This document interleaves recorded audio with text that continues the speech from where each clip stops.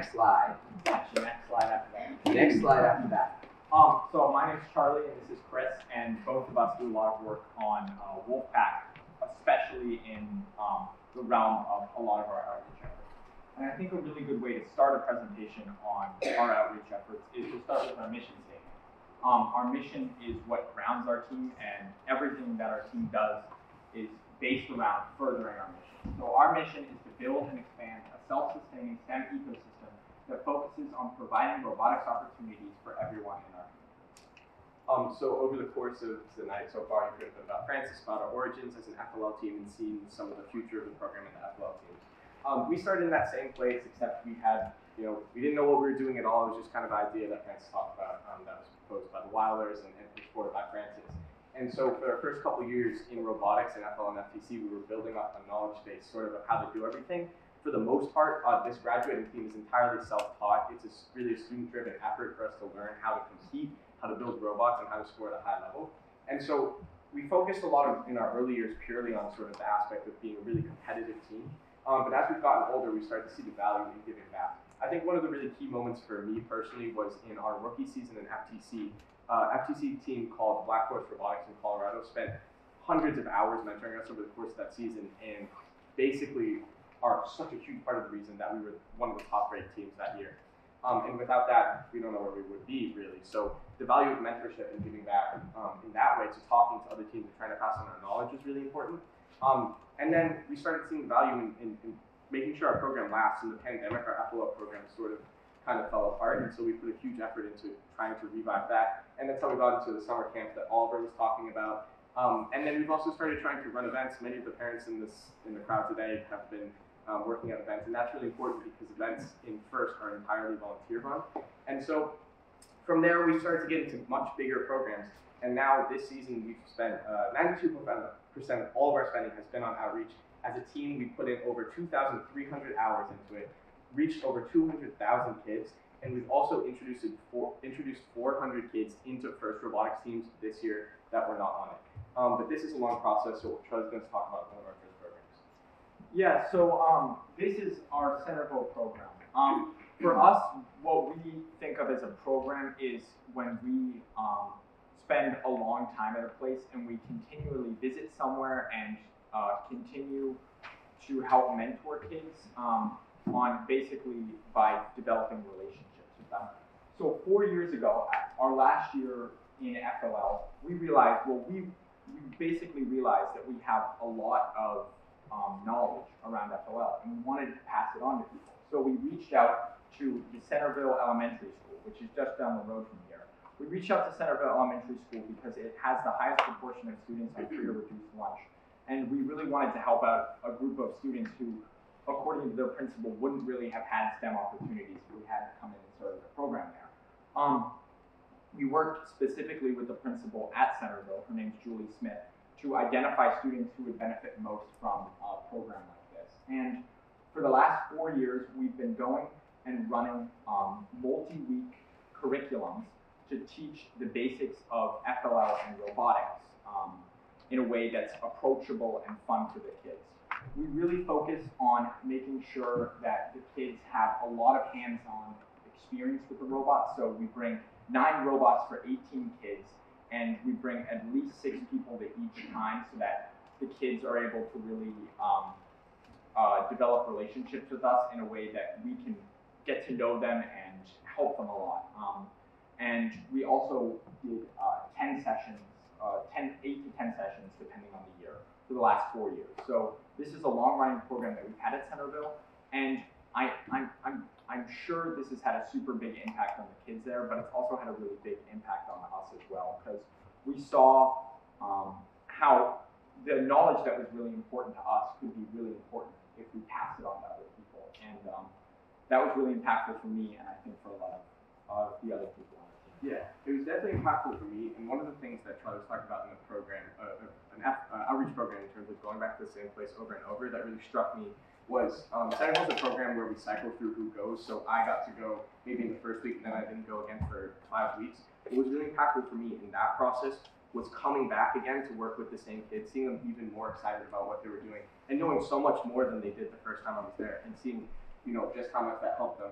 And so over the course of the past summer, as I was kind of thinking about that and also my experience in FLL, which is that when I came to Waring, I had no interest in engineering or I, I kind of liked math, but I wasn't really into STEM. Um, but Francis suggested that I join the FLL team. Um, and from there, I just fell in love with it. It shaped my whole future and interest. I'm applying basically exclusively to engineering schools. And I don't know where I would be without it. So the value of the first opportunity um, was something I was thinking about a lot. And I realized that I uh, really wanted to create a program um, to try to provide that opportunity to more um, kids who don't have it. And so when I talked to my mom about this this summer, she suggested I reach out to City Year, which is an international organization that, amongst other things, um, does afternoon pro- uh, programming for kids in underserved communities. And through them, uh, they put us in contact with the Everett school system, and in particular, Ruby Kaur, who's the STEM director of the Everett school system. Um, what we realized in Everett immediately is that it's a community that was perfect for the kind of outreach that we were trying to do. Um, Ruby herself is super energetic, incredibly intelligent, and super motivated. She's been trying for years to get an FLL program to exist, but wasn't able to get one out of coming out of the pandemic. And also, their their student body, 85% of them are high needs, and two thirds speak a language other than English at home. So that's really important to us because we're not trying to give FLL to kids who already have access, who could find access on their own. We're trying to bring it to a community who really wants it and doesn't have it yet. And so, as we were talking to her, she identified five schools in the Everett school system who were looking to start FLL teams. We know the cost of starting an FLL team with just the bare minimum is roughly $700, so we need to raise about 4000 to start this program. That's a very big number, but something I learned through this process is that companies and organizations are really excited to do outreach. The reason that they don't do it as much is because they don't have the time and manpower to actually be there in person. So when we go to the sponsor we ask to sponsor this program, Patronics, and we said, we have the curriculum, we know exactly what we're going to do, and we're going to run this program. This is the amount of money we need, and it's budgeted out. They're super willing to give it to us. So on first attempt, we got the full four thousand dollars that we needed um, to start the teams. Um, from there, um, Ruby helped identify two teachers at each school who would coach each of the five teams, and we brought as many of them down to the WIP as could come, and ran the, a mentor training session, which is where this photo's from, where we just taught them the basics of FLL and programming because the teachers didn't know anything themselves.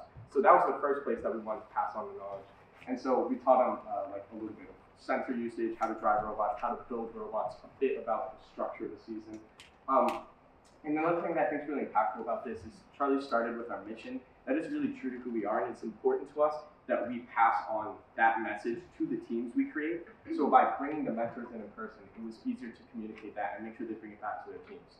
And so by teaching mentors how to run their teams, it meant that we didn't need to be there all the time and that the teams could operate autonomously, which is the goal. With these programs, we don't want them to be a one-time thing that only works while we're students at Waring the time to go mentoring. Instead, we want them to be able to work on their own.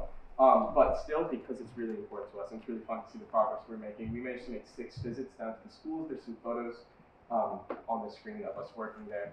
And I really love this photo in the top left corner here. It's of Alma working with um, one of the students at one of the schools. And this is the moment where she was helping them write their first program that scored their first points of the season. And I remember when they played it, um, just it was the most simple mission. They just had to push something in. But all the kids started jumping up and celebrating. The teacher got it out of the camera and they filmed it again. Um, and that was amazing. That was really important to me because that showed that the passion and what we were trying to accomplish to offer the opportunity to students was really meaningful and impactful to them. And more so than that, they did even better than we could have imagined. Three of the teams qualified for the state championship, a feat we did not do in our first season. We're not remotely close. So um, that's amazing. We're so proud of them, and it's a program we're looking to sustain and expand in the future. Um, so another program that we started this year is our program in Rwanda. So one of our team members, Amelia, um, was moving to Rwanda for the first semester, and we realized as a team that this was a perfect opportunity to do some much needed outreach to a community that would really benefit from some STEM. So we set a goal of starting 10 teams in Rwanda, and we um, fundraised money to get kits and registration fees and everything was ready to go, and Amelia went off to Rwanda with uh, 10 kits and a couple of contacts at a couple of schools. Um, the second she got there, she started pitching to teams, uh, mentors, and school directors to try to generate excitement about STEM and about FLL, and to start passing on the knowledge that, that we had developed over so many years. Um, and on our side, we spent a lot of time developing curriculum materials for the new coaches, the new teams, and the judges, uh, so that they were able to run competitions and scrimmages. Um, and I personally, um, and many of the other members of our team, mentored the teams that Amelia started in Rwanda. So I mentor the Hope Bots and the Block Pythons, which are two teams from Rwanda, um, via email and uh, Google Meet. Um, but really, the kind of unique thing about this that really means so much to us is the fact that under a week after Amelia got to Rwanda, she was able to pitch to 60 schools at a STEM convention. And what this really shows is that Rwanda has so much excitement around STEM, and there's just kind of a lack of knowledge and resources. So we were able to come in with um, the resources, like we were able to come in with the kits, and we were able to come in with knowledge of how to code FLL and how to do projects and all that stuff. And we were able to pass this on, and the kids really took it and ran with it, and some of these teams came up with really incredible projects. Um, and there, one of the one of the issues was is after we got there and we talked at the STEM convention, and there were there were schools reaching out to us, and they really wanted to join, and we had a major problem. We had too many schools interested in starting teams, and this was this is a problem because we were like, how are we going to do this? And this is where Code Arena stepped in. So Code Arena is the operational partner for Central African FLL, which basically means they're a liaison between uh, FIRST and the country that they're operating in. So they run all the national championships and stuff. And um, they saw what we were doing in Rwanda, and they were so excited about what we were doing that they actually donated us the funds to be able to start 25 more teams in Rwanda, um, which was really exciting. So we have a total of 35 teams with over 350 kids um, that we started in our mentoring. Um, next slide.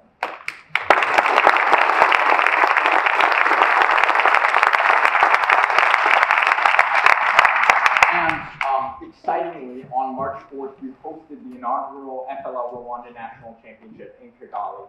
And um, that's why Amelia isn't here to be able to present, because she actually went and ran the competition, um, made sure everything ran smoothly. So um, that's why she's not here today, because she was, um, she was doing that a couple of days ago. Um, and it was a really exciting competition for us because um, not only were the teams all super duper excited and super into it, we had over um, 500 people come and watch, and uh, there were some major um, there were some major dignitaries there, including the Minister of Information, Communication and Technology, the Minister of Education, the Botswanan Minister of Communication, Knowledge and Technology, the Director General of Rwandan Education, and the board of the board the general the, the head of the board of directors for UNESCO Rwanda and Dean Kamen, the founder of FIRST, also was able to come into the competition for a bit. So that was really exciting for us, and um, we're working with them to expand the project for years to come. Um, and we're really excited to announce that the top two teams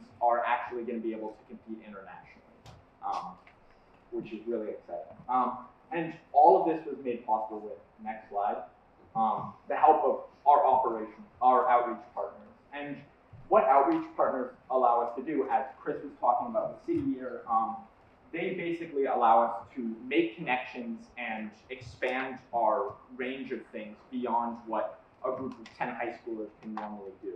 Um, one example of this is without the help of UNESCO Rwanda and uh, the Ministry of ITC, who invested significant manpower and time and money into the national competition, that just couldn't have happened um, because of the fact that we had to pay for the transportation and all of this stuff for all of the teams. It, it was a serious um, effort from all of these organizations. But I think an even better example of how we work with outreach partners is these two organizations here, Stella and Teach Rwanda. And we're working with them to, uh, they're both education uh, nonprofits that work in Rwanda. And we're working with people that work at these nonprofits, training them to be able to teach FLL to other teams. And what this allows us to do is make sure that the program is sustainable for years to come. And we really do want Rwanda to increase the number of teams over the over the coming years, and we couldn't do that without the help of Stella. Um, and so that begs the question, like, why outreach? Why do we do all of this? Um, roughly this season, two thirds of our time that been spent on outreach has been, sorry, on FTC has been on outreach.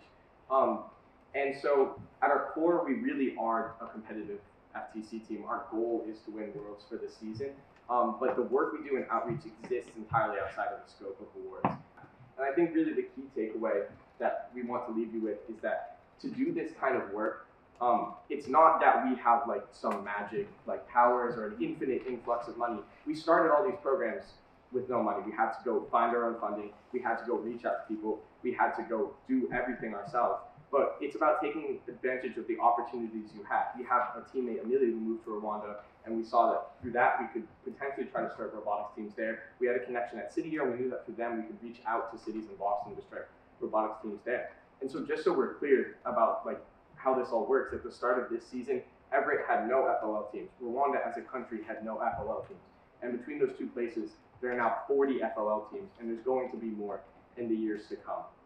Um, and so we're really proud of what we do. We're proud to say that 92% of our spending is on outreach. We're proud to say that we're approaching 2,500 hours purely on outreach this year. Because like I was saying, as we've grown through FIRST, the focus of our team has changed. It really shifted away from just learning um, how to do robots and how to win to what our mission statement is. It's about providing access and robotics to kids in underserved communities because there's no difference between us and them in terms of the passion that they would find if they could just be offered that first opportunity. And that's important to us. And so that's really who Wolfpack is um, at our core, and that's why we do the work we do, and we want to continue to do it for years to come. So, thank you.